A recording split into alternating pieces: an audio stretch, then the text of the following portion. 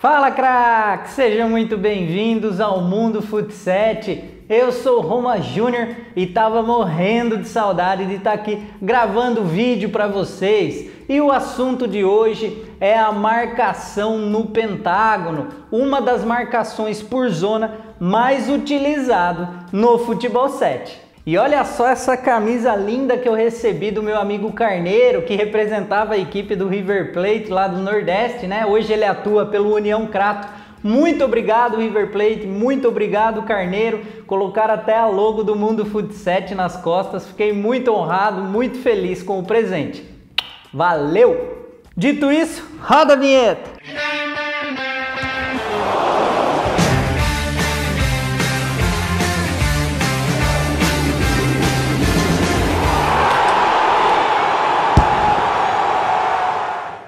Bom, falando do Pentágono, para que você aproveite da melhor maneira possível esse sistema de marcação, é muito importante entender o conceito, por que utilizar a marcação no pentágono, por que utilizar uma marcação por zona, né? Precisa saber esse conceito antes de mais nada. Mas se você quiser pular o vídeo diretamente para a parte onde eu explico através do Tactical Pad, Tá aqui um minuto e segundo do vídeo para você poder adiantar, tá bom? Outra coisa, se você quiser também colocar o vídeo no 2x, no 1x e meio aí, coloca para ficar mais rápido, mais dinâmico. Eu agora só assisto vídeos assim, só consumo conteúdo dessa maneira. Bom, então vamos lá. Primeiramente, a gente utiliza o pentágono para tentar ocupar o máximo de espaço possível em uma meia quadra. Devido ao tamanho das quadras hoje, né, as oficiais que medem 30 por 50 metros, é interessante que você tente ocupar o máximo de espaço possível com seus atletas. Porque, por exemplo, se a quadra é muito grande, você faz uma marcação no 3-3, todos os atletas vão se desgastar muito mais para tentar ocupar todos os espaços. E dessa forma, utilizando o pentágono, você poupa os jogadores de tanto desgaste. Não que não vai desgastar, mas você consegue de uma forma é, otimizada preencher os espaços da quadra. Bom, então como eu disse, é muito importante que todos entendam o propósito do pentágono, que vai muito além de se defender de uma forma consistente. Ele favorece o contra-ataque em vantagem numérica. E foi jogando dessa forma que o nosso time, né, o Sorocaba, foi campeão da Copa São Paulo, utilizando essa estratégia desde o primeiro jogo da competição. E para representar essa vitória, essa conquista, tá ali o troféu, né? Eu recebi como melhor treinador da competição e também a medalha do título. Então vamos lá para o Tactical Pad, onde eu montei aqui a formação do pentágono, tá? O pentágono ele é composto por cinco atletas dando um combate mais direto e um atleta fazendo a dobra, né, o caixote, ele é o cara da sustentação. Digamos que esse atleta ele age como um volante no futebol de campo. Ele preenche os espaços, ele dobra a marcação, ele fecha as linhas de passe, tá? Então, o desenho seria este daqui, ó, forma um pentágono. Bom, para marcação no pentágono, eu gosto de utilizar dois fixos de ofício, um ala esquerdo sendo destro, um ala direito sendo canhoto, um pivô e um meia que tenha um bom preparo físico, porque o desgaste nessa função é muito grande. Bom, para atacar esse sistema do pentágono, normalmente a gente monta uma linha de quatro né, na armação. Então, imaginando que o adversário já fez essa leitura que estamos jogando no pentágono, ele vai montar ali a linha de 4, tá? A linha de 4 seria isto, né? O ala, o fixo, o outro fixo e o outro ala, né? Formando essa linha de 4 para fazer as trocas de passes atrasando a marcação. Bom, e para iniciar esse sistema de marcação, a primeira movimentação é o balanço é, então, quando o adversário está trocando passe ali entre os fixos, a nossa equipe vai fazendo apenas o balanço, fechando ali linhas de passes, mas sem agredir ainda o adversário. É importante que todos façam o balanço de forma coordenada e intensa, inclusive os fixos, porque muitas vezes eles se dividem na marcação de três atletas ou mais. Bom, dentro do próprio pentágono existem variações nas movimentações, em como cada atleta vai agir. Isso depende de cada treinador. Isso depende da formação também de ataque do adversário. Se você está identificando uma falha no seu sistema, você pode alterar. Esse sistema é o que eu utilizo como básico, tá? Para introdução ao pentágono. Então a proposta é marcar em meia quadra e toda vez que a bola chegar no ala adversário, a gente agride, tá? Então pisou na nossa quadra, a gente vai para o combate. Então se a bola chegar aqui no ala número 6 do adversário ou no ala número 2 do adversário, a gente vai fazer o confronto direto. Bom, então nós vamos iniciar aqui o balanço, tá? Então a bola tá lá com o fixo número 3 do adversário, a gente faz o balanço.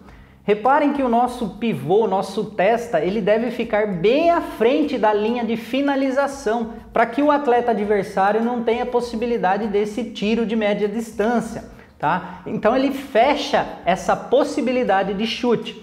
Enquanto o meia tem que estar tá sempre na quebra de pescoço, né? Vendo se não tem um pivô vindo na frente dele para receber. Então ele também fecha essa linha de passe para pivô. Bom, o pivô já fechou a linha de finalização, o meia já fechou uma possível é, movimentação do pivô. Reparem que entre as linhas dos nossos alas e meia, né, essa linha amarela, fica o fixo.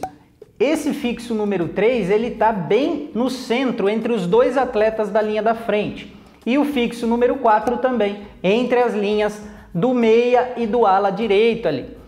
É, por que isso? Para que qualquer atleta que passe entre as linhas, ele não consiga receber de uma forma fácil esse passe. E também aí existe uma armadilha.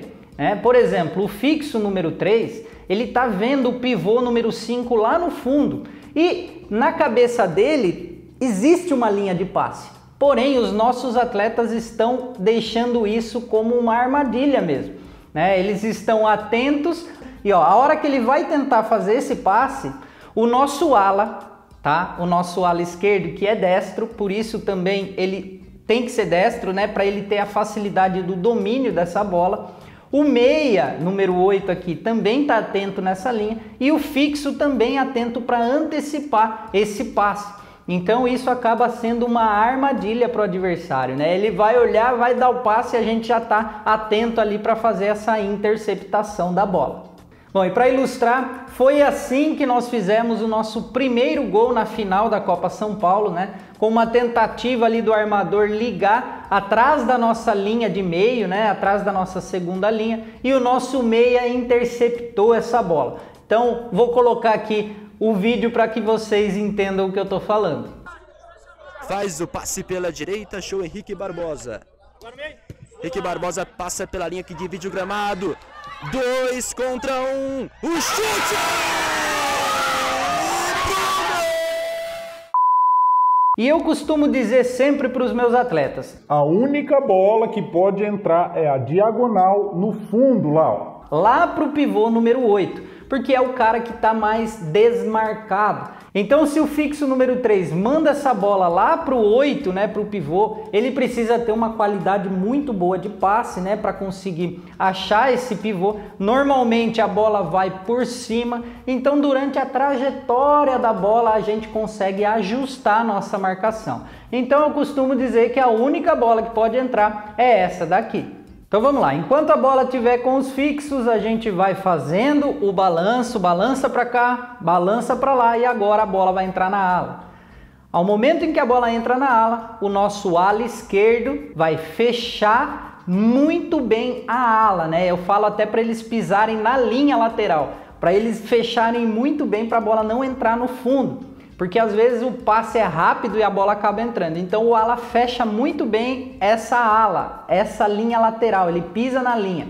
Fechou ali, é, eu falei que ele é destro porque se o atleta número 2 tenta achar alguém no meio, tenta achar o pivô, ele tem uma maior facilidade de domínio de bola com o pé direito, ele vai conseguir dar o combate melhor com o pé direito. Então é importante que ele seja destro.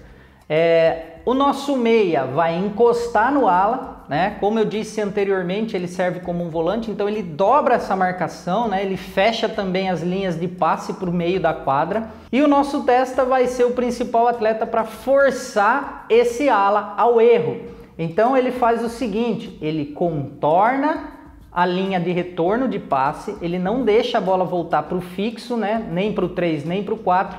Ele tem que fechar essa linha de passe para que a bola não volte. Fechou. Esse atleta número 2, esse ala, ele está encurralado ali, né? Então, é, o nosso ala direito, canhoto, ele vai fechar mais para dentro, se escondendo atrás da linha de passe do 8, do nosso meia. Então ele vai ali ficar escondido aqui, ó. Ele fica escondido nessa linha. Justamente para dar a ilusão a este atleta que está com a bola de que aqui tem uma linha de passe fácil, essa linha amarela, para forçar ele a inverter o lado da quadra. Ele olha, pô, pivô vem vindo me marcar aqui, tá fechando a linha de passe de retorno é, olha para frente, tem dois caras fechando, ele vai olhar aqui e vai falar, pô, é óbvio, é ali que eu vou mandar essa bola. E é justamente isso que a gente quer, que ele tente a inversão de jogada. Então, a partir do momento que ele tentar essa inversão de jogada, o nosso ala vai partir para roubar essa bola. Ele vai interceptar esse passe no meio do caminho.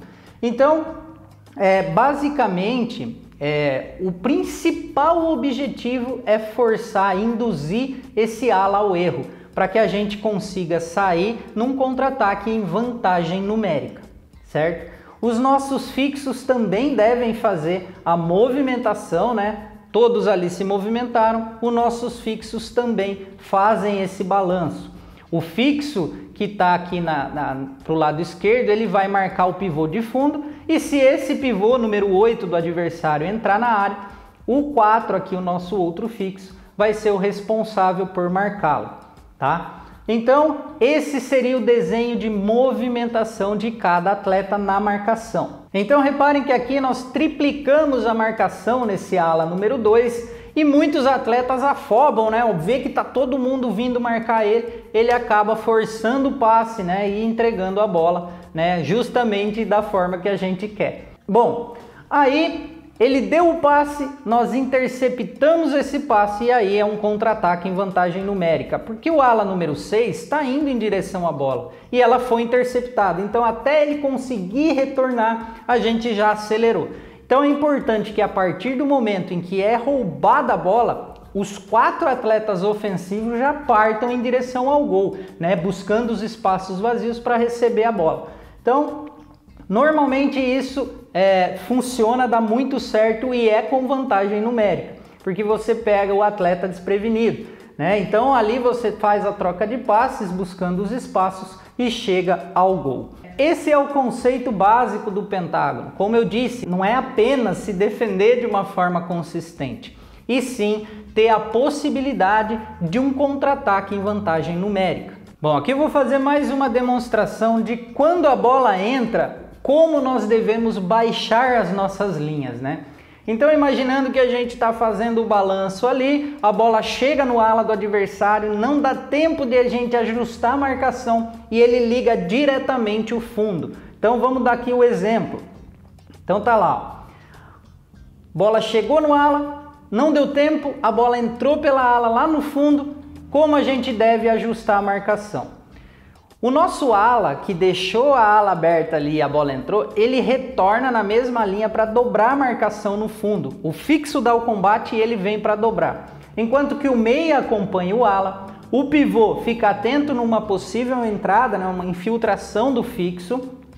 O nosso outro fixo já dá o combate no pivô, né, que normalmente entra para receber essa bola de primeira, ele dá o combate e o nosso ala direita que já fica atento ao fixo também para uma infiltração. O único atleta que vai ficar livre é o oposto, tá? A gente não vai se preocupar tanto com esse ala, porque ele está do outro lado da quadra. A possibilidade dessa bola chegar para ele é uma bola aérea. E como eu disse, enquanto a bola está numa trajetória aérea, a gente consegue ajustar, fazer o balanço e ajustar a marcação. Então, Dessa forma, a gente ainda continua dobrando a marcação e sendo mais eficiente nessa marcação.